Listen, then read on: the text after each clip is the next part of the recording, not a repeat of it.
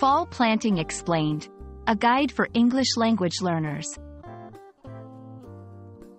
Hello everyone. Today, we're going to explore the phrase, fall planting.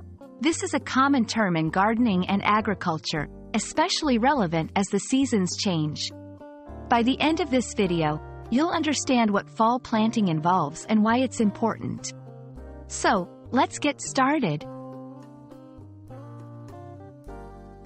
In this section, we'll discuss the meaning of fall in the context of fall planting. Fall, also known as autumn, is one of the four seasons in many parts of the world. It's the transitional period between summer and winter, characterized by cooler temperatures and changing leaf colors. In fall planting, the timing is crucial, as it refers to planting during this specific season.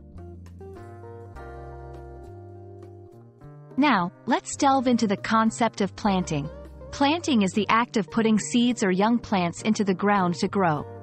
It's a fundamental part of agriculture and gardening. In the context of fall planting, it's about choosing the right plants or crops that thrive when planted during the autumn months.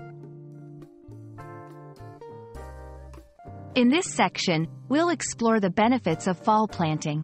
There are several advantages to planting during fall, such as cooler weather, which is less stressful for new plants, and the upcoming winter months, which give plants time to establish roots. We'll also discuss how fall planting can lead to a beautiful spring garden. Here, we'll provide practical tips for successful fall planting. This will include advice on selecting the right plants for your climate, preparing the soil, and proper watering techniques. Whether you're a beginner or an experienced gardener, these tips will help you make the most of your fall planting. Thank you for watching. I hope this video has helped clarify what fall planting is and how you can successfully participate in it. Remember, fall planting is a rewarding activity that prepares your garden for the next year.